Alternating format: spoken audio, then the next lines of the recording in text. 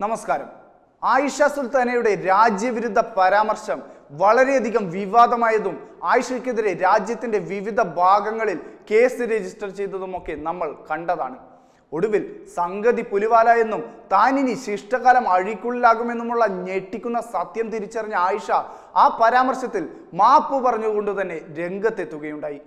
കാർന്നു തിന്നാനാണ് ഭാവമെങ്കിൽ താണ്ഡവമാടാനാണ് തീരുമാനമെന്നൊക്കെ ആയിഷേച്ചി നല്ല പഞ്ചിലടിച്ച ഡയലോഗാണെങ്കിലും കേട്ടവരെല്ലാം ഇതുവരെ ചിരി നിർത്തിയിട്ടില്ല എന്നതാണ് സത്യം. ലക്ഷദ്വീപിന് വേണ്ടി ഉറച്ച നിലപാടോടെ പോരാടുമെന്നൊക്കെ തള്ളിമറിച്ച ആയിഷ സുൽത്താനയുടെ ഇപ്പോഴത്തെ നിലപാട് എന്താണ്? ആദ്യത്തെ നിലപാട് ലക്ഷദ്വീപിനെതിരെ കേന്ദ്രം ബയോ വെപ്പൺ പ്രയോഗിച്ചു എന്നായിരുന്നു. എനിക്ക് വളരെയധികം കൃത്യവും വ്യക്തവുമായി പറയാനാകുമെന്നൊക്കെ ഒരു ഉളുപ്പുമില്ലാതെ ആയിഷ പറഞ്ഞു. പക്ഷേ സംഗതി വിവാദമായപ്പോൾ പണിപാളുമെന്ന് മനസ്സിലായ ആയിഷ കേന്ദ്രമല്ല അഡ്മിനിസ്ട്രേറ്ററാണ് ബയോ വെപ്പൺ പ്രയോഗിച്ചത് എന്നാണ് പറഞ്ഞത്. പിന്നീടത് ബയോ വെപ്പൺ പ്രയോഗിച്ചു എന്ന് പറഞ്ഞിട്ടില്ല. പ്രഫുൽ പട്ടേലിനെയാണ് ഞാൻ ബയോ വെപ്പൺ എന്ന് വിളിച്ചത് എന്നാക്കി മാറ്റി. പക്ഷേ ആയിഷയ്ക്കെതിരെ രാജ്യദ്രോഹ കുറ്റത്തിന് കേസ് രജിസ്റ്റർ ചെയ്തപ്പോൾ മറ്റൊരു വഴിയുമില്ലാതെ ഞാനൊരു അറിവില്ലാത്ത കുട്ടിയാണ്. ബയോ വെപ്പൺ പരാമർശം നടത്തിയത് എന്റെ അറിവില്ലായ്മ കൊണ്ടാണെന്നും പറഞ്ഞ് രണ്ടു വട്ടം മാപ്പും പറഞ്ഞു. പക്ഷേ ചാനൽ ചർച്ചയിൽ വന്നിരുന്ന് ഷോ കാണിച്ചിട്ട് ഇത്രയും വലിയ ഒരു രാജ്യദ്രോഹ പരാമർശം നടത്തി മാപ്പും പറഞ്ഞ് തടിയൂരാമെന്ന വ്യാമോഹം അസ്ഥാനത്തായി അതുകൊണ്ടും കാര്യമില്ലെന്നറിഞ്ഞപ്പോൾ നൈസായി ചർച്ച നടത്തിയ ചാനലിന്റെ തലയിലിടാനായി ആയിഷയുടെ അടുത്ത ശ്രമം. മീഡിയ വൺ ചാനൽ എന്നെ ചതിച്ചതാണ്. എന്നെ തെറ്റിദ്ധരിപ്പിച്ച് ആ പ്രസ്താവനയുടെ ഉത്തരവാദിത്വം അവതാരകൻ നിഷാദ് റാവുത്തർ ഏറ്റെടുപ്പിക്കുകയായിരുന്നു. എന്റെ ഭാഗം വിശദീകരിച്ച് വിവാദം അവസാനിപ്പിക്കാൻ അടുത്ത ദിവസം തൊട്ട് ഞാൻ പലതവണ വിളിച്ചിട്ടും പലരെ കൊണ്ട് വിളിപ്പിച്ചിട്ടും അവരെനിക്ക് ഒരു അവസരം പോലും തന്നില്ല എന്നൊക്കെ പറഞ്ഞ് കരച്ചിലായി ആയിഷ. അതുകൊണ്ടും തീർന്നില്ല. ഞാൻ കുട്ടിയായിരുന്നപ്പോൾ അമ്മുക്കുട്ടി ടീച്ചറുടെ കൂടെ അമ്പലത്തിൽ പോയിട്ടുണ്ട്. ഞാൻ ആദ്യമായി കളിച്ചത് തിരുവാതിര നൃത്തമാണ്. ഞാൻ എന്റെ വാപ്പാന്റെ വീട് ബി ജെ പി പാർട്ടി ഓഫീസിനാണ് കൊടുത്തത്.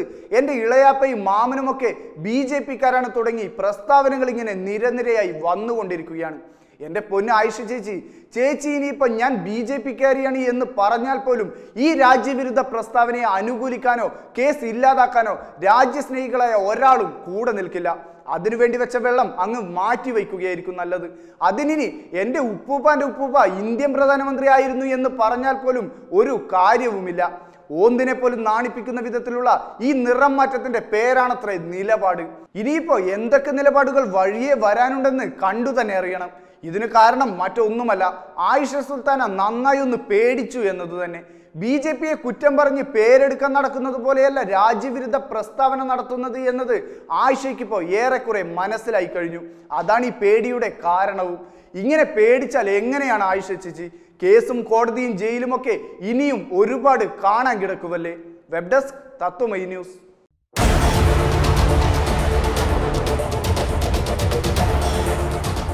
മലയാള ടെലിവിഷൻ രംഗത്തെ ആദ്യത്തെ തത്സമയ ചർച്ചാവേദിയായ ഹോട്ട്ലൈൻ എന്ന പരിപാടിയുമായി പത്തു വർഷക്കാലത്തെ ഇടവേളയ്ക്ക് ശേഷം ഞങ്ങളുടെയൊക്കെ പ്രിയപ്പെട്ട ശ്രീ രാജേഷ് പിള്ള തത്വമയി ചാനലിലൂടെ തിരിച്ചു വരുന്നു. ഒരു മണിക്കൂർ ഒരു വിഷയം. അവതാരകന്റെ ഇടപെടലില്ലാത്ത ഒരു മണിക്കൂർ. അവതാരകൻ കേൾവിക്കാരാകുന്ന ഒരു മണിക്കൂർ. ഇങ്ങനത്തെ ഒരു ചർച്ച ആർക്കും ഒരിക്കലും മറക്കാനാവില്ല. ശ്രീ രാജേഷ് പിള്ള തത്വമയി ചാനലിലൂടെ ഹോട്ട്ലൈൻ വീണ്ടും അവതരിപ്പിക്കുന്നു. ഞാൻ അദ്ദേഹത്തിന് എല്ലാ നന്മകളും നേരുന്നു.